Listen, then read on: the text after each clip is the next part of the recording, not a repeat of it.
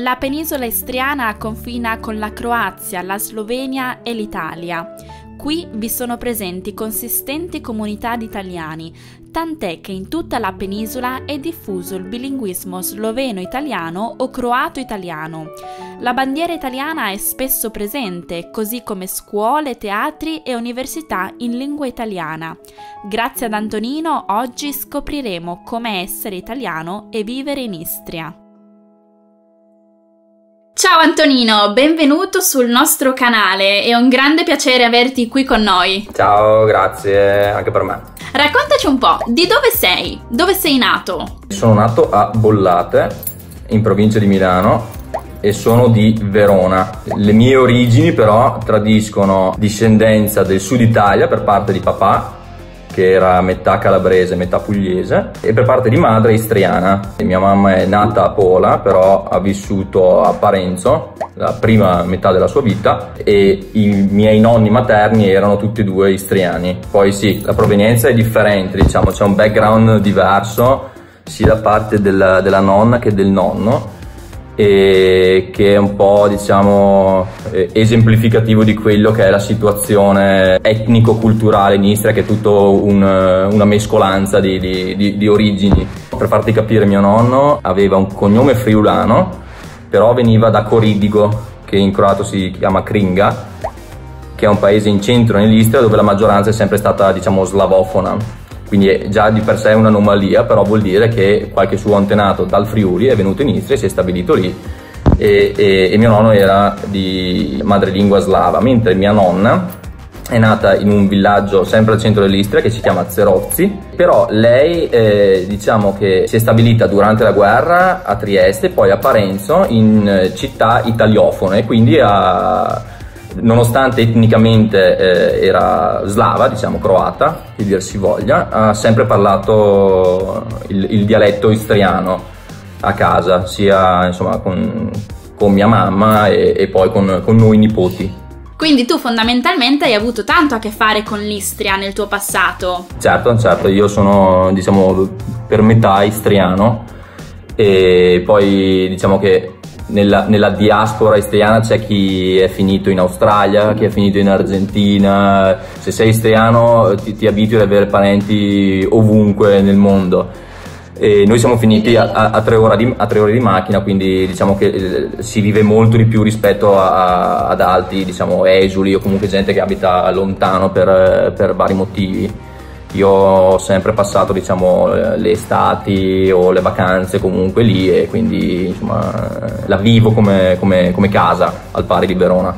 Ok, quindi in Istria ti senti a casa, anche perché se non sbaglio parli la lingua locale. Sì, certamente sì, sì, sì. Beh, ci sono tante persone che magari non sono legate a livello familiare con l'Istria che comunque si sentono a casa perché è una, è una terra piuttosto ospitale, una cosa che è un commento frequente sull'Istria e sugli istriani. Poi la lingua sì, sai, ovviamente la realtà dei fatti adesso parla di una, di una Istria maggiormente croata che slovena o italiana perché dopo la, la, seconda guerra mondiale diciamo la regione geografica istriana è stata spartita e la fetta più grande è finita alla Jugoslavia che poi è diventata Croazia e Slovenia mentre all'Italia è rimasta Muggia e, e San della Valle che, che, che, che appartengono ancora all'Italia.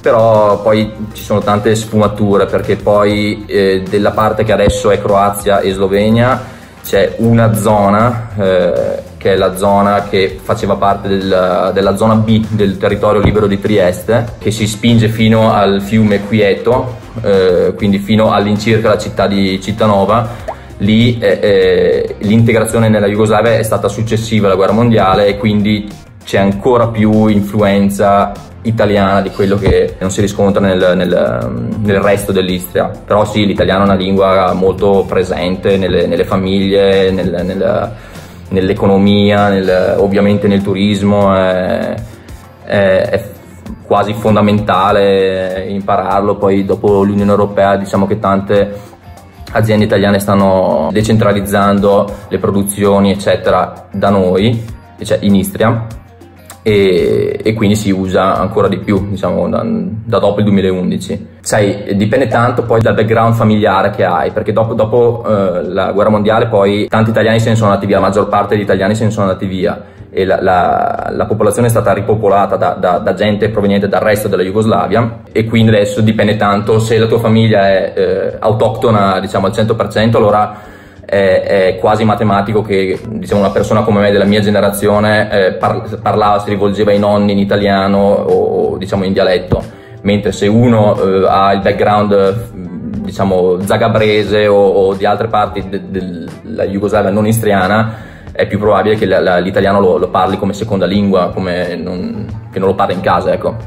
Certo, quindi tu ricapitolando quante lingue parli? Allora, io parlo italiano, inglese, croato e spagnolo, però le, legate all'Istria diciamo che parlo italiano e croato e capisco e parlo il dialetto istriano-italiano e capisco il dialetto istriano-croato. Ok, quindi comunque tu sei bilingue italiano-croato perché sei cresciuto parlando queste due lingue? Sì, sì, sì, sì. Sai cos'è? Il, il, il croato è una lingua molto molto difficile, è, è molto complessa a livello grammaticale e sintattico e quindi per, ehm, per uno che non, che non, ha completato l'istruzione in un, in un, contesto non slavo è un po' più difficile parlarla perfettamente. Io lo, lo parlo bene, non lo parlo eh, al livello dell'italiano diciamo, diciamo che riusciamo a, a gestire una conversazione in, in croato senza, senza, nessun tipo di problema.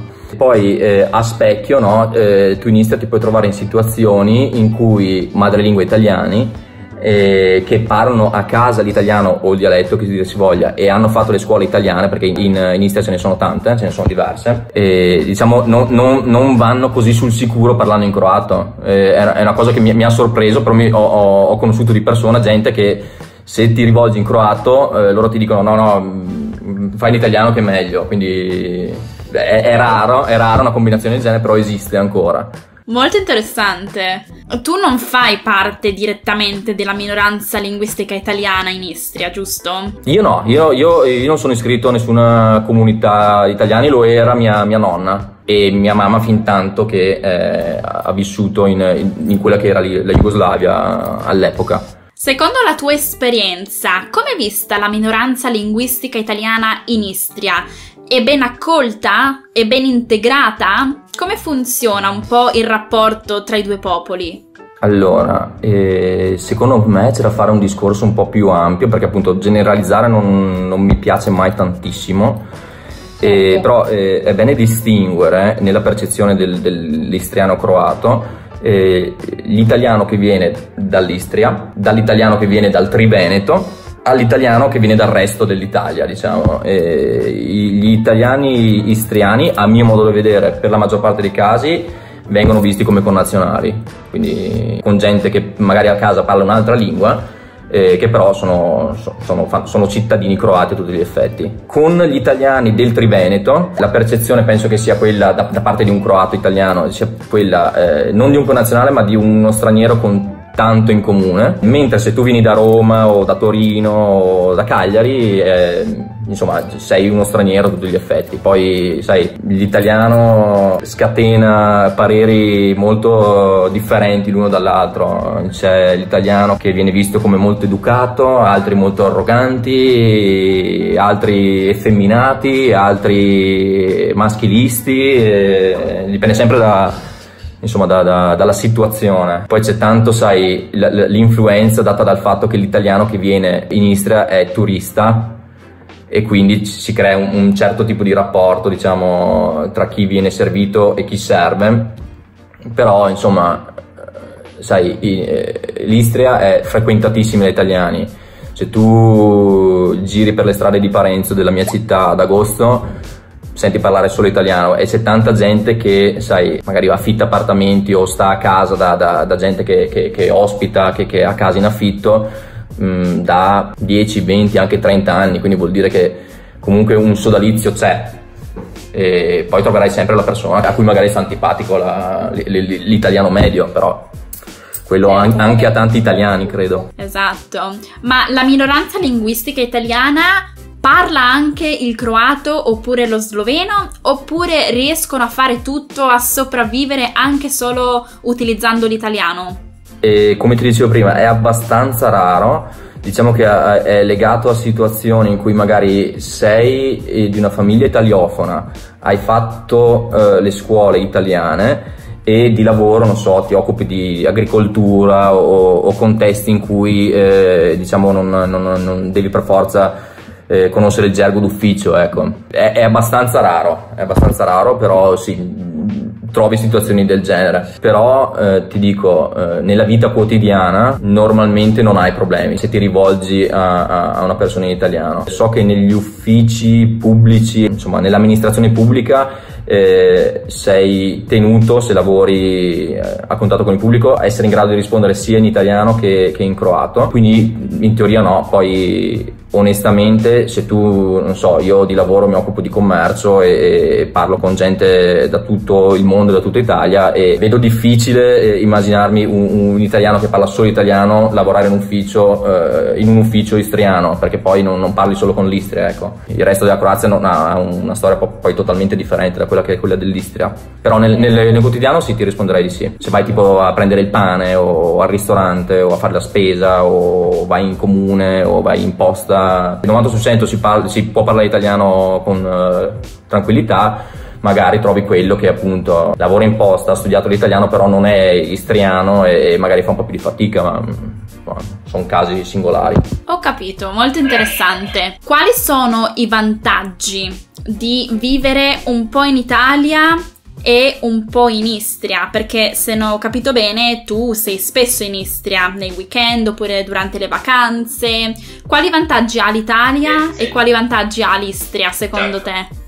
Sì, sì, sì, ti senti a casa in due posti, è bello, poi sai in Istria è difficile trovarsi in un contesto abitativo non, non, rurale, non so se mi spiego, la città più grande fa 50.000 abitanti che è Pola e, comunque è un grande paese dove tutti si conoscono, dove sai, ti fermi per strada e, e ci si parla, ci si chiede come sta, cosa che in Italia stanno un po' estinguendosi. E quindi a confronto diciamo che la, la grande città ha dei vantaggi, la città medio grande provinciale come può essere Verona o, o Trieste dà dei vantaggi però il modus vivendi del, del, del paese medio, paesino medio istriano per certi aspetti è impagabile. E la tranquillità che, che percepisci io non so di, di, di, sera quando vado in campagna da quelle parti vedo le, le lucciole che invece in, in Italia sono, sono, estinte, invece da noi ci sono ancora, quindi dà un senso sai, di,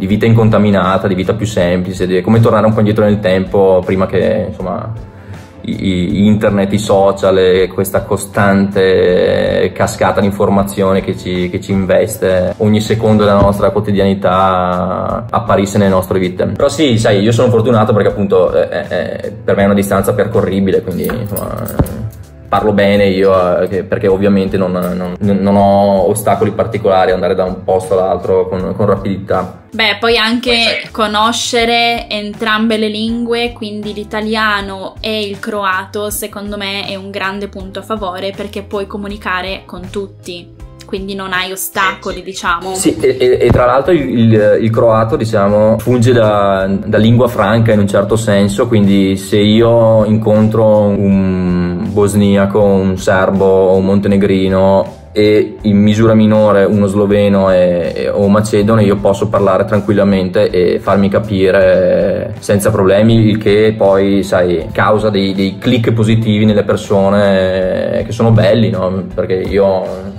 nella mia vita ho, ho vissuto in tanti, in tanti posti diversi quando sono diventato grande e una volta che ti imbatti in, un, in, uno, in una persona dei Balcani poi connetti subito perché c'è questa, questo punto in comune anche se non hai la stessa, la stessa nazionalità, diciamo. Sì, assolutamente. Quindi diciamo che è una lingua che ti riesce ad unire a tanti altri paesi. Sì, no, no, non sembra, ma ha una, ha una utilità, diciamo. Non...